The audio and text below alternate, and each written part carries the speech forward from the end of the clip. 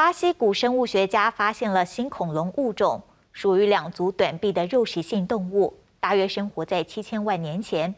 另外，英国的怀特岛上则是发现了两种新的棘龙，让科学家相当振奋。工作人员揭开布幕，巴西圣保罗州发现的新种恐龙模型正式亮相，它是生活在七千万年前的肉食性恐龙。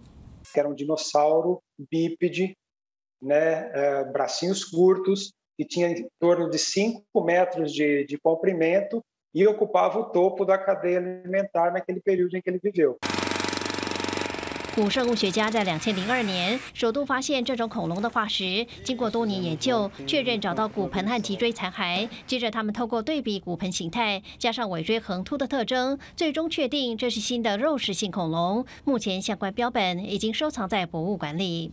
镜头转到英国，研究人员在怀特岛同一处沙滩的岩层陆续挖出包括两个头骨在内的恐龙化石，证实它们属于两种不同种类的肉食性棘龙，让他们相当振奋。But the really exciting thing is they're not actually the same thing as each other. So we've found on a beach, and the, the, the, span of time between the top of the section and the bottom is four million years, give or take. So it's not like they were necessarily on the same beach at the same time.